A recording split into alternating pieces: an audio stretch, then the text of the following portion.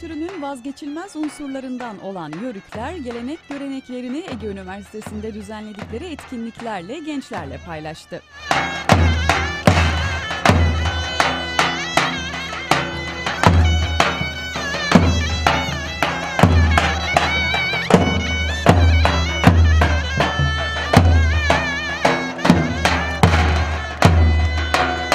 Egeli Gezginler Topluluğu tarafından düzenlenen etkinliğe ilgi büyüktü.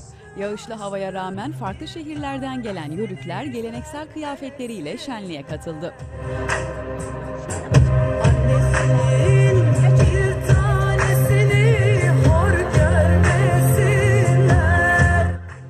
Etkinlik kapsamında yörük kültürüne ait kıyafetler ve yemekler sergilendi. Aynı zamanda yörüklere özgü gelin çıkarma geleneği de gösterildi. Şenlik alanında keşkek de yapılarak katılımcılara ikram edildi.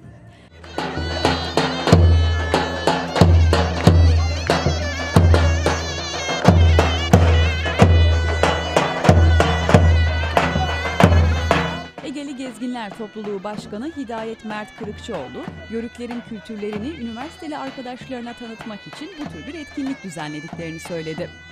Aydın Yörük Efe Kültür Derneği Başkanı Muhsin Aydoğdu ise bu etkinlikler sayesinde üniversite gençliğine yörük kültürünü tanıtırken bu kültürün devamlılığını da sağladıklarını ifade etti.